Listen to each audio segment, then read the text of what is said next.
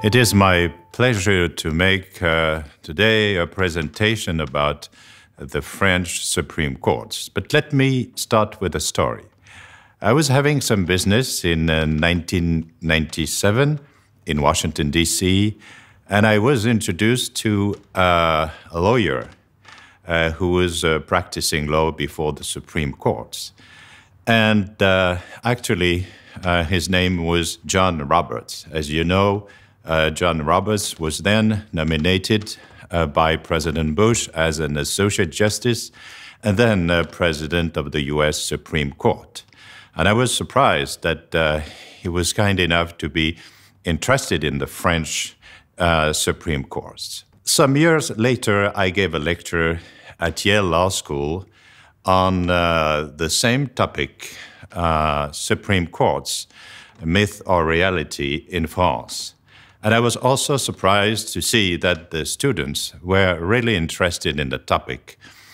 This is why today I decided to make that short presentation. To make it simple, let's keep three dates 1790, 1799, and 1958. 1790, we should talk about La Cour de Cassation. Under the monarchy, the French had uh, 15 local courts, which were uh, both a part of the judiciary and also legislative bodies. We had problems with these courts. We had actually two issues. The first one is that they were political and struggling all the time against uh, the, the power of the king. And the second problem is that uh, the jurisprudence of this course was not the same. You had different outcome if you were in Rennes, Paris, or Aix-en-Provence. At this time, we also had uh, uh, a Conseil des Parties, which was a part of the King's Council. And uh, that uh, section of the King's Council was qualified to void the rulings from lower courts. Then came the idea of separation of powers. I have to remind you that uh, the founder was French, my compatriot uh, Montesquieu. And also, at the same time, came the idea of equality under the law. For these two reasons, uh, the power of the parliaments and the idea of equality under the law, the French decided to uh, establish one Supreme Court named Tribunal de Cassation and then La Cour de Cassation. Since that time, we have in our country one Supreme Court for the judiciary. It is one court only it is one jurisprudence, it is one Supreme Court which is respectful to the government. The Cour de Cassation uh, uses a technique named La Technique de Cassation, cassation control. It means that the court does not review the case itself, but it reviews the ruling from the lower courts, the Court of Appeals. The Cour de Cassation review is about motivation of uh, the rulings of lower courts and also the issue of enforcement or interpretation of the law. The Cour de Cassation works with a special body of lawyers qualified to plead before the Supreme Court, and these lawyers are the ones who uh, draft, uh, present, and plead what we call les moyens de cassation the, the means to, uh, for the Cour de Cassation to control the rulings from lower courts. Today, the Cour de Cassation is made of about 200 judges and 60 advocate general. Let's go now to 1799 and say a few words about le Conseil d'État. Napoleon Bonaparte is uh, the premier consul, is not an emperor yet but he remembers uh, the uh, issues of uh, former French parliaments. And he also remembered Le Conseil des Dépêches uh, in the King's Council. From this, uh, he decided to establish le Conseil d'État.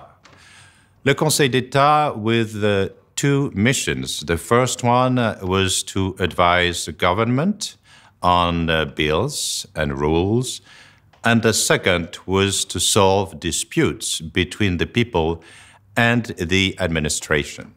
From 1872, the Conseil d'État became uh, a real court independent court making a balance between uh, uh, the government power and the rights of the people. Today, in 2020, the Conseil d'Etat has still these uh, two functions advising the government and judging the administration as a Supreme Court. Le Conseil d'Etat had a very essential place during the COVID 19 crisis. Le Conseil d'Etat issued about 150 opinions to prevent attempts against the fundamental rights of the people. The Conseil d'Etat is made of about 200 uh, uh, judges. As a supreme judge, uh, the Conseil d'Etat is able to review the rulings from lower courts, and in a way, he's doing about the same job than la Cour de cassation. But also, uh, the Conseil d'Etat is advising the government on rules and uh, bills. The members of the Conseil d'Etat are both civil servants and judges. They are really independent and impartial, and they do follow uh, the fair trial, the rule of due process. The lawyers uh, who plead before the Conseil d'Etat are the ones who plead before la Cour de cassation. 1958, le Conseil constitutionnel. It is uh, the Supreme Court of the French to deal with constitutional issues. The Conseil constitutionnel was established by the Constitution of the Fifth Republic. It is made of nine members nominated by the President and also by the chairs of our Parliament, Chamber, and Senate. They are nominated for nine years.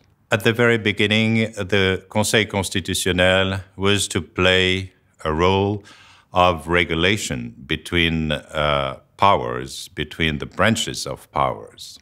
The French do not like very much the idea of having uh, judges making a review of the law. Why? Just because we had to fight monarchy and we did it through the sovereignty of the law. This is why, for a long time, we did not have real control, real review of the laws. But in 1971, with the famous ruling Liberté d'association, the Conseil constitutionnel made its like Marbury versus Madison. The Conseil constitutionnel decided to extend its review to fundamental rights from the 1789 Declaration and also from the 1946 Preamble. In 1974, a new amendment was brought to the Constitution to make possible filing from uh, members of the Parliament and not only by the President and the Prime Minister. And then in 2008, and we have to thank Nicolas Sarkozy for this, and also Robert Badinter, who did this before, who had the idea before.